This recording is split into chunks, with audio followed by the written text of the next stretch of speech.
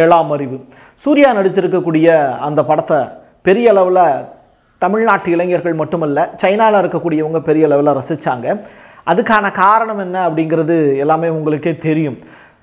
போதி தர்மர் அப்படிங்கிறவர் காஞ்சிபுரம் மாவட்டத்தில் பிறந்து சீனாவில் போய் தமிழ்நாட்டுக்கு எதுவும் பிரச்சனை வந்துடக்கூடாது அப்படிங்கிறதுக்காக முன்னோட்டமாக அங்கே போய் அங்கே இருக்கக்கூடிய மக்களுக்கு சில கலைகளை பயிற்றுவித்தார் அப்படின்னு.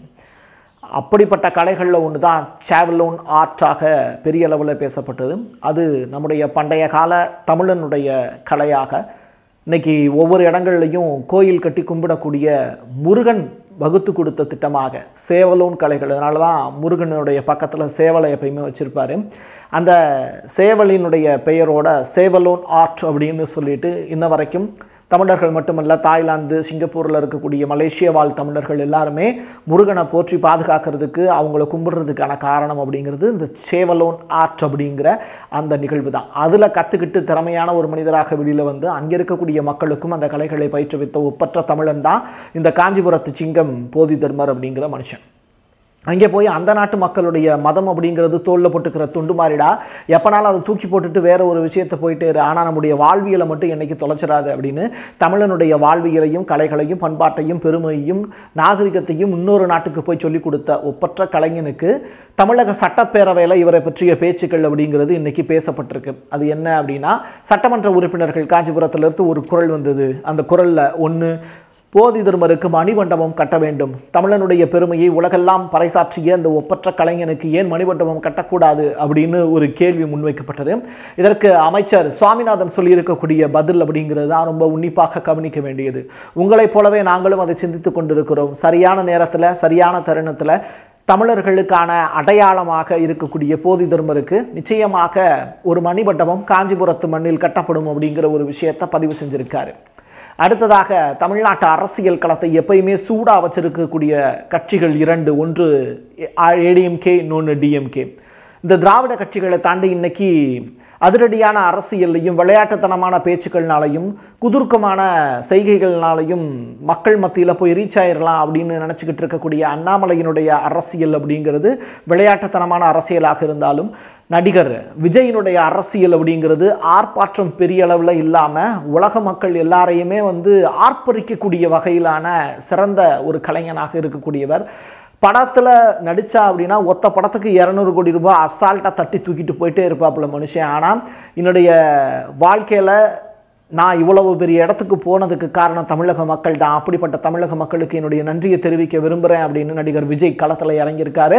அவருடைய அரசியல் களம் எப்படி இருக்கும் அப்படின்னு ஒரு தனியார் தொலைக்காட்சி பிரசாந்த் கிஷோர் அப்படிங்கிற அந்த மனுஷங்கிட்ட அரசியல் திறனாய்வாளர் அரசியல் வியூகம் வகுக்கக்கூடிய அப்படிப்பட்ட ஒரு நபர்கிட்ட பேட்டி எடுக்கிறாங்க. அவர் சொல்லியிருக்கக்கூடிய விஷயம் விஜய்க்கு பெரிய ஸ்பேஸ் இருக்குது பட் விஜய்ங்கிற ஒற்றை மனிதனால் அது சாதிக்க முடியுமா அப்படின்னு கேட்டால் கொஸ்டின் மார்க் பட் அவர் எடுத்திருக்கக்கூடிய கொள்கைகள் எல்லாமே திராவிட கட்சிகளை தூக்கி சாப்பிடணும் அப்படிங்கிறது மட்டுமல்ல தேசிய கட்சிகளுக்கு எதிராகவும் தனது நிலைப்பாட்டை வந்து தெளிவுபடுத்தியிருக்காரு. அந்த வகையில் தமிழ் தமிழன் அப்படின்னு இயங்கக்கூடிய ஜோசப் விஜய்க்கு பெரிய அளவிலான வாய்ப்புகள் சிறுபான்மையினருடைய ஓட்டுகள் எல்லாத்தையும் பிரிக்கக்கூடிய வாய்ப்புகள் இருக்குன்னு இந்த பிரசாந்த் கிஷோர் பேசி இருக்கக்கூடிய விஷயம் அப்படிங்கிறது இன்னைக்கு ரொம்ப முக்கியத்துவம் வாய்ந்த ஒரு விடயமா தமிழக தொலைக்காட்சிகளில் அதிகமான அளவில் பத்திரிகையாளர்களால் பேசப்படக்கூடிய விஷயமா மாறி போயிருக்கு.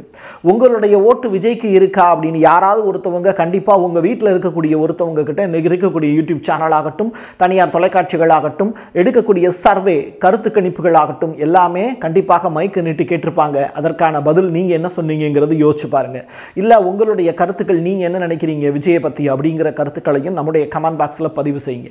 எல்லாத்தையும் தாண்டி விஜயனுடைய அரசியல் களம் அவருக்கான களமாக ரெண்டாயிரத்தி இருபத்தி ஆறில் மாறுவதற்கு வாழ்த்துக்களை சொல்லிக்கலாம். அடுத்ததாக ஒரு முக்கியமான ஒரு விடயம். அமரன் அப்படிங்கிற தலைப்பில் சிவகார்த்திகேயன் நடிப்பில் வெளியாக இருக்கக்கூடிய ஒரு படம். கமலுடைய ப்ரொடக்ஷனில் வெளியாக இருக்கக்கூடிய இந்த படத்தில் ஒரு இராணுவ வீரருடைய உடை தெரித்து அவர் காட்சியளிக்கிறார். இராணுவ வீரருடைய பயோகிராஃபி ஃபிலிமாக இது இருக்க போது எப்போ ரிலீஸ் ஆக போகுது அப்படிங்கிற பெரிய எதிர்பார்ப்போடு காத்திருக்கக்கூடிய ரசிகர்கள் பட்டாளம் ஒருபுறம். விஜயனுடைய இடத்தை அடுத்து சீமாவில் வந்து சிவகார்த்திகேயனுக்கு கொடுக்கிறதாகவும் குழந்தை நட்சத்திரங்கள் எல்லாமே சிவகார்த்திகேயனை தூக்கி வச்சு கொண்டாடக்கூடிய நிகழ்வுகளும் அரங்கேறிக்கிட்டு இருக்கக்கூடிய இந்த காலகட்டத்தில் இந்த அமரன் படத்திற்கான பெரிய அளவிலான எதிர்ப்புகள் எழுந்துகிட்டு இருக்கு. தமிழக மக்கள் ஜனநாயக கட்சி இங்கே தமிழ்நாடு முழுவதும் முக்கியமான தலைநகரங்களாக இருக்கக்கூடிய சென்னை அதை தாண்டி வந்து மைய நகரமாக இருக்கக்கூடிய திருச்சி மதுரை கோயம்புத்தூர் தொழில்நகரத்திலையும் போராட்டங்கள் நடத்தியிருக்காங்க. இந்த போராட்டம் எதற்காக அப்படின்னா காஷ்மீரில் இருக்கக்கூடிய மக்கள் எல்லாத்தையும் தீவிரமாக போராடக்கூடிய வரிசையில் அவங்களுக்குன்னு ஒரு பட்டம் கொடுத்து வச்சிருக்காங்க. அந்த பட்டம்ங்கிறது அளிக்கப்பட வேண்டும். அங்கே இருக்கக்கூடிய இளைஞர்கள் தூய்மையானவர்கள் அவங்களும் நம்மளை போல சாதாரணமான மனிதர்கள் தான். அவங்களையும் வித்தியாசமாக சித்தரிக்கிறீங்க அப்படின்னு சொல்லிட்டு இந்த படக்காட்சிகள் நீக்கப்படணும் அப்படின்னு சொல்லிட்டு அமரன் படத்தினுடைய காட்சிகளை நீக்கணும் அப்படிங்கிற மாதிரியான விஷயங்களை மையப்படுத்தி அவங்க போராட்டத்தில் ஈடுபட்டிருக்காங்க. சிறுபான்மை சிறுபான்மையினர்களுக்கு எதிரான படமாக இது சித்தரிக்கப்படுமோ அப்படிங்கிற அச்சம் அந்த மக்களுக்கு இருக்கிறதுனால இந்த போராட்டத்தை எடுத்திருக்காங்க. ஆனால் அதையும் தாண்டி அமரன் படத்தில் இருக்கக்கூடிய ராணுவ வீரர் இந்திய நாட்டுக்காக உயிர் துறந்தவர் அவருடைய பெருமையை நாம் தூக்கி சுமக்க வேண்டியது நம்முடைய தோளுக்கு இருக்கக்கூடிய மிகப்பெரிய கடமை.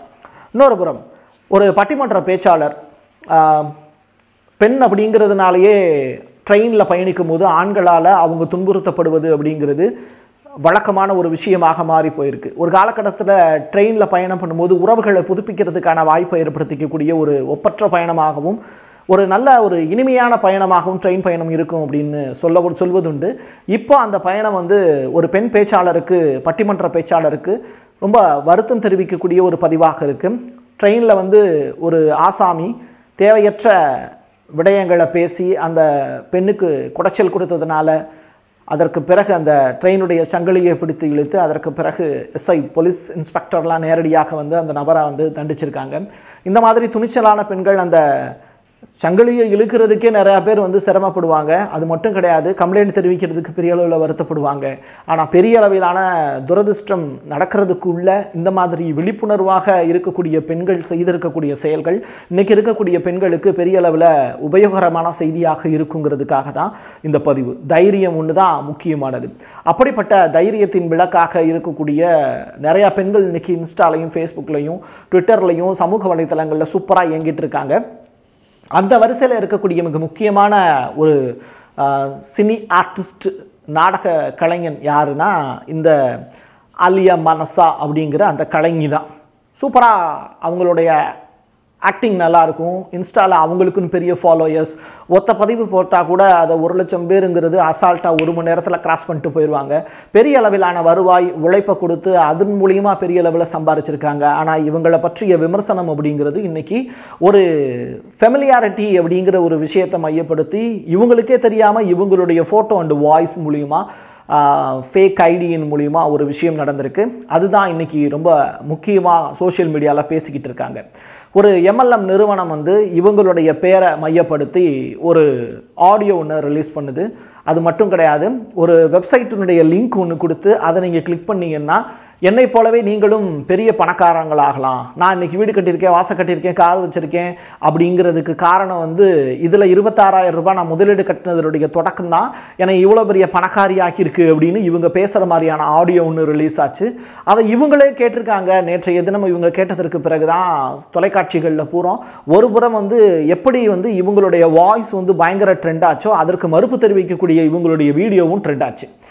இருபத்தாறாயிரம் ரூபாய் முதலீடு எம்எல்எம் கம்பெனி முதலீடு பண்ணுங்க அப்படின்னு ஆலியா மானசா பேசுனது அப்படிங்கிறது.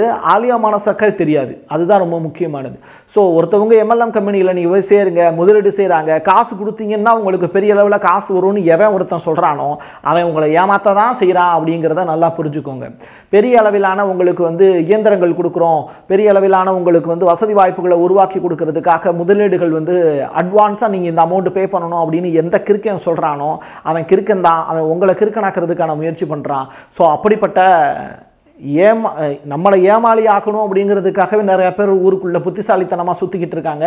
உழைக்காமல் பிழைக்கக்கூடிய அந்த இந்திக்காரர்களிடம் மாட்டிக்கொண்டார்கள். ஏன்னா அவங்க இந்தியில் தான் இவங்க கிட்ட பேசியிருக்காங்கன்னு சொல்கிறாங்க ஸோ தமிழ்நாட்டில் இரட்டை மொழி கொள்கை அந்த இரட்டை மொழி கொள்கையை சரியாக ஃபாலோ பண்ணிங்கன்னா இந்தி தெரியாட்டி கூட பிரச்சனை இல்லை. அதே நேரத்தில் இந்தி தெரிஞ்சது மாதிரி பேசி உங்களை ஏமாற்றக்கூடிய நிகழ்வுகளும் நிறையா அரங்கேறிக்கிட்டு இருக்கு. அதையும் வந்து நம்ம வரிசையாக பேசுவோம். ஆலியா மானசா போட்டு இருக்கக்கூடிய பதிவு அப்படிங்கிறது ஆலியோ மானசாவினுடைய வார்த்தைகள் அல்ல அப்படிங்கிறதையும் சொல்ல வேண்டிய தேவை இருக்குது இந்த பெரிய அளவிலான நீங்கள் இந்த காட்சிகள் வந்து ஒரு நீல நிறவானம் அந்த நீல நிறவானத்தில் அழகாக மிளிரக்கூடிய சூரியனுடைய புகைப்படம். அதற்கு கீழே வந்து அதிகமாக சுட்டரிக்கக்கூடிய சூரியன் வந்து டெம்பரேச்சரை ஹை பண்ணுற மாதிரியான காட்சி. இந்த காட்சி எங்கே அரங்கேறி இருக்குன்னா கடவுளின் தேசம் என்று அழைக்கப்படக்கூடிய கேரளாவில் அரங்கேறி இருக்கு. கேரளாவில் அதிகமான அளவில் வெயில் சுட்டரிக்கிறதுனால பள்ளிக்கூடங்களுக்கு அப்பப்போ லீவ் விட்டுக்கிட்டு இருக்காங்க. தொடர்ந்து அங்கே இருக்கக்கூடிய நிலை எப்படிங்கிறது ரொம்ப வித்தியாசமான ஒரு நிலை தான் நல்ல குளிரான ஒரு பகுதி கேரளா. நல்ல குளிர்ச்சியான ஒரு இடம். பார்க்கக்கூடிய இடம் எங்கும் நீக்கமர அந்த பசுமை போர்வை அப்படிங்கிறது போர்த்தப்பட்ட காட்சிகளாக இருக்கும். அப்படிப்பட்ட இடம் அப்படிங்கிறது இன்றைக்கி வேறு மாதிரியான சுச்சுவேஷனாக மாறி போய் நிற்கிது அப்படிங்கிறதையும் சொல்ல வேண்டிய தேவை இருக்குது ஸோ இந்த இடம் அப்படிங்கிறது ஃப்ரான்ஸில் இருக்கக்கூடிய ஈவில் டவர் இந்த ஈவில் டவருக்கு லீவ் விட்டுருக்காங்க க்ளோஸ் பண்ணியிருக்காங்க எதற்காக க்ளோஸ் பண்ணியிருக்காங்க ஏப்பா அது உலகத்தினுடைய அதிசயங்களில் ஒன்றாச்சே அப்படின்னு சொல்லி நீங்கள் கேட்கலாம். ஆமாம் அதிசயங்களில் ஒன்று தான் பைசா கோபுரம் தான் சாஞ்சு கிடக்குது அப்படிங்கிற மாதிரியான ஒரு பெரிய புகைப்படம். அப்படிப்பட்ட இந்த டவரை வந்து சுத்தம் பண்ணக்கூடிய வேலையை செஞ்சுக்கிட்டு இருக்காங்க அங்கே இருக்கக்கூடிய ஃப்ரான்ஸினுடைய ஊழியர்கள். எதுக்காக இது செய்கிறாங்க மேக்ரான் சொன்னதுனால செய்கிறாங்களா அதிபர் சொன்னதுனால இந்த வேலையை செய்கிறாங்கன்னு கேட்டிங்கன்னா ஒலிம்பிக் கமிட்டி சொன்னதுனால இந்த வேலையை செய்கிறாங்க டாட்டா பெரிய கம்பெனி. உலகமே பார்த்து ஆச்சரியப்படக்கூடிய ஒரு உழைப்பாளி. சின்ன வயசில் தன்னுடைய உழைப்பிற்கான அடையாளமாக அவங்க வச்சுக்கிட்டு இருக்கக்கூடிய விஷயம் அப்படிங்கிறது மனிதநேயம் இந்த ஹியூமனிட்டி அப்படிங்கிற விஷயத்தை இன்ன வரைக்கும் தூக்கி தோளில் சுமந்துக்கிட்டு இருக்கிறவங்க தான் இந்த டாட்டா ஓனர். அப்படிப்பட்டவங்க ரத்தன் டாட்டா உள்ளிட்ட நபர்கள்லாம் பெரிய அளவிலான சாதனைகள். ஒரு லட்சம் ரூபாய்க்கு ஒரு காரை கொடுக்க முடியுமா? சாமானியனும் கார் ஓட்டுறதுக்கான வாய்ப்பை வந்து உருவாக்கி கொடுக்கணுங்கிறதுக்காக பெரிய அளவிலான முயற்சி செஞ்சு நானோ காரை அறிமுகப்படுத்தினவங்க தான் இந்த டாடா குழுமம். அப்படிப்பட்ட இந்த டாடா குழுமம் புதிதாக இப்போ ஒரு கார் ஒன்று ரிலீஸ் பண்ணியிருக்காங்க. டாடா டியோகோ அப்படிங்கிறது தான் அந்த காரனுடைய பெயர். இந்த கார் வந்து பார்த்தீங்கன்னா ஏஎம்டி ப்ளஸ் சிஎன்ஜி மாடலில் ரிலீஸ் ஆயிருக்கு. ஸோ தொழில்நுட்பத்தை பற்றியும் நம்ம சில செய்திகளை சொல்லணுங்கிறதுக்காக இந்த நியூஸை கொடுக்குறோம். ஸோ புதிய ரக கார் ஒன்று சந்தையில் இறக்குமதி ஆயிருக்கு. இதனுடைய ரேட் அப்படிங்கிறது அஞ்சரை லட்சத்துலேருந்து எட்டு லட்சம் ரூபா அப்படின்னு சொல்கிறாங்க பெட்ரோல் அண்ட் சிஎன்சி மாற்றிக்கலாம் ரன்னிங் டயத்துலேயே மாற்றுறதுக்கான வாய்ப்பை உருவாக்கி கொடுத்துருக்காங்க. நீங்கள் பக்கத்து சீட்லேயே வந்து பார்த்தீங்கன்னா பக்காவாக அதுக்கு கீழேயே வந்து எமர்ஜென்சிக்கான அந்த பாதுகாப்பு கிட்டெல்லாம் வந்து வச்சுருக்காங்க. ஸோ அது மட்டும் இல்லை யூஎஸ்பி போர்ட் உள்ளிட்ட ஏகப்பட்ட விஷயங்கள் வந்து இந்த காரில் இருக்குது அப்படிங்கிற ஒரு விஷயங்கள். நவீன ரக தொழில்நுட்பத்தின் மூலியமாக டாடா தயாரித்து கொடுத்துருக்கக்கூடிய நடுத்தர வர்க்கத்திற்கான கிஃப்டாக இந்த நான்கு சக்கர வாகனம் அப்படிங்கிறது இருக்கும் அப்படிங்கிறத டாடா பெரிய அளவில் நம்புகிறாங்க இன்னொரு புறம் டிடிஎம் வாசன். இவரை பற்றிய செய்திகளும் இவரை பற்றிய பொருள்களும் இவரால் ஏற்படுத்தப்படக்கூடிய சிரமங்களும் பெரிய அளவில் தமிழ்நாட்டில் இப்போதைக்கு இல்லை அப்படின்னாலும் ஒரு தடவை ஆக்சிடென்ட் அது ஒய்யாரமாக இருந்த அவருடைய புகழ் அப்படிங்கிறது டவுன் ஆயிடுச்சு. மஞ்சள் கலரில் சட்டை போட்டுட்டு தன்னை ஒரு மஞ்சள் வீரனாக தமிழ்நாட்டு மக்கள்கிட்ட அறிமுகப்படுத்தணும் அப்படின்னு தமிழ்நாட்டு இளைஞர்கள் மத்தியில் பைக் மூலியமாக பெரிய அளவிலான புரட்சியை செஞ்சவர். அப்படிப்பட்டவர் இந்தியாவினுடைய எல்லை வரைக்கும் போயிட்டு வந்திருக்காரு. ஆனால் இன்னைக்கு அவருடைய நண்பரும் அவரால் பாதிக்கப்பட்டிருக்காரு. எப்படி செய்யணும் அப்படிங்கிறத தாண்டி எதை செய்யக்கூடாது அப்படிங்கிறத இன்னைக்கு இருக்கக்கூடிய இளைஞர்கள் தெரிஞ்சுக்கணும் அப்படின்னா இவருடைய வாழ்க்கை பாடம் தான் ஒரு பாடம். இன்றைக்கி பத்து வருஷத்துக்கு இவருடைய லைசன்ஸ் கேன்சல் செய்யப்பட்டிருக்கு. அது அவருக்கான அதிகபட்ச தண்டனை அப்படின்னு சொல்லக்கூடிய இளைஞர்களும் இருக்காங்க. அதே நேரத்தில் இந்த பத்து வருஷத்தில் டிடிஏ வாசன் என்ன செய்ய போகிறாரு அப்படிங்கிற கேள்விகளும் இருக்குது இவருடைய நண்பர் செய்திருக்கக்கூடிய சேட்டைகள் தான் இன்னைக்கு ட்விட்டர் அண்ட் சோஷியல் மீடியாவில் பெரிய அளவில் பேச பொருளாக மாறி இருக்குது மும்பையில் இருக்கக்கூடிய தாஜ் ஹோட்டல் அண்டு மும்பையில் இருக்கக்கூடிய முக்கியமான சர்வைலன்ஸ் கேமரா அதிகமாக இருக்கக்கூடிய இடங்களில் வச்சு ஃபோட்டோ எடுத்திருக்காங்க. தாஜ் ஹோட்டலை பற்றி உங்களுக்கு தெரியும். டெரரிஸ்ட் அட்டாக் நடக்கக்கூடிய இடமாக ரொம்ப பதற்றமான ஒரு பகுதி. அந்த இடத்துல வந்து டிடிஎஃப் வாசனுடைய ஃப்ரெண்டு மிஸ்டர் அஜீஷ் அப்படிங்கிறவங்க அந்த வீடியோலாம் எடுத்திருக்காங்க. மும்பை போலீஸ் அவங்கள தூக்கி உள்ளே வச்சிருக்கு. நிறைய நல்ல தரமான வீடியோக்களை பார்க்கறதுக்கும் அதே மாதிரி செய்திகளினுடைய ஆழம் சென்று தெரிஞ்சுக்கிறதுக்கும் வரலாற்றை பேசுறதுக்கும் கேட்கறதுக்கும் எல்லாத்துக்குமா இருக்கக்கூடிய பிரசாத் சிக்னேச்சர் சேனலை உடனடியாக லைக் பண்ணுங்க ஷேர் கமெண்ட் பண்ணுங்க. மறக்காம சப்ஸ்கிரைப் பண்ணி பெல் ஐக்கானை கிளிக் பண்ணிருங்க.